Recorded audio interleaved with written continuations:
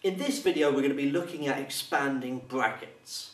Uh, well that's what it's called anyway and what it means is that you will have a, an expression like this 3 bracket x plus 5 bracket and expanding the brackets means multiplying them out because effectively what does this mean?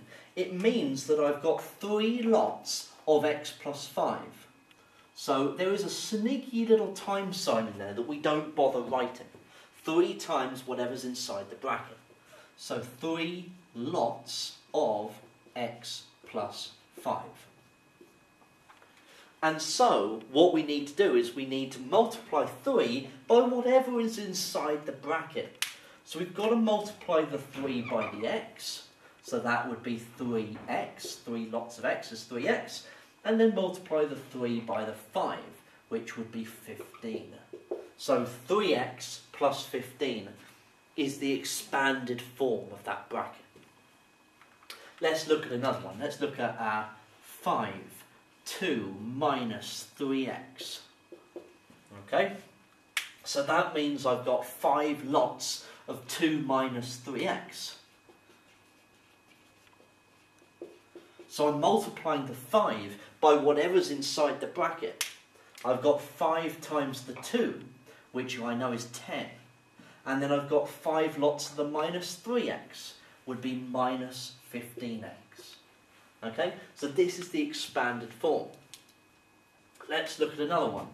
Let's look at um, if I had something like 3x, um, 4x plus 2. Okay, this looks absolutely horrible. It looks completely different, but it's not. It works in exactly the same way. This means I've got 3x lots of 4x plus 2.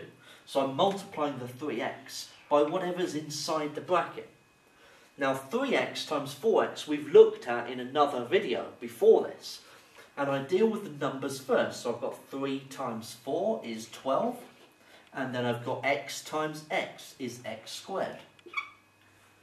So 3x times 4x is 12x squared. Then I need to multiply the 3x by the 2. So that's 6x. So expanded, this is 12x squared plus 6x. And this is the more difficult of these three, okay? Because you've got to remember about the algebra bit. So let's look at one more example, just to make sure we're clear on what we're doing here. Um, an example that you could potentially have, I guess, I haven't seen one that looks like this, but let's give it a go. Um, let's have 8 lots of 2x minus 5 uh, plus 3y. Okay? So what this means is that I've got 8 lots of whatever's inside the bracket. So I've got 8 lots of the 2x, which would be 16x. I've got 8 lots of the minus 5, which is 8 times minus 5 is minus 40. And then I've got 8 lots of the 3y. So 8 lots of the 3y would be 24y. And that's how I can write, I can expand a bracket. It doesn't matter how many terms I've got in the bracket, but I'm multiplying each of them by the number that is outside. Okay? And that's how we expand brackets.